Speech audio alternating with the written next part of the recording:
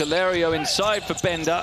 Makes a tough gather and a tough finish as well, despite the pressure. Wasn't a great pass into Oriola.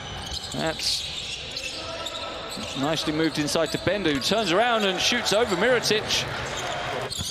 The only player to attempt a three-point shot so far, only one of them as well.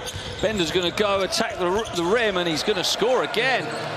Bryant is back in for Maccabi as the quick pass to Bender allows him to score. First foul on Abrines.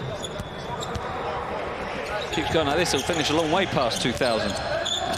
Wilbekin, Bender with the foul. Dragan Bender, what a game. And he now has the chance setting up long-range shots.